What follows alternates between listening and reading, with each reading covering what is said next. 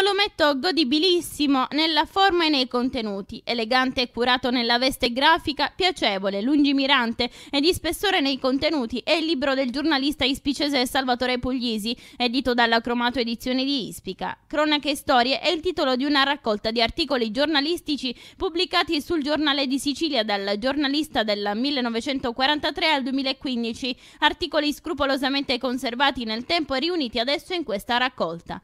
Ben 65 articoli riguardanti storie di uomini, donne e istituzioni fatti accadute ad Ispica, storie significative che come un caleidoscopio raccontano l'anima più genuina della città di Ispica e degli ispicesi nei decenni, ma raccontano anche radici, orizzonti, vizi e virtù di una collettività che si specchia tra passato e futuro, tra la collina che la protegge e il mare che la illumina. Nella prefazione Salvatore Puglisi, classe 1932, spiega ai lettori: Il mio vuole essere un omaggio alla città di Ispica e ai cittadini ispicesi. Non sono storie di fantasia, ma fatti accaduti nella nostra città.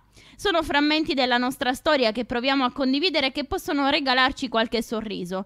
Dall'articolo dedicato al primo sindaco del 1943 a quello dedicato alla proclamazione di città, dagli articoli dedicati alle attenzioni riservate ad Ispica dal cinema e dalla TV nazionale, a quelli in cui sono raccontate vincite, truffe, premi prestigiosi per ispicesi, bizzarre avventure e disavventure di una collettività ora geniale, creativa e coraggiosa, ora prudente e gattopardianamente, paziente o silente.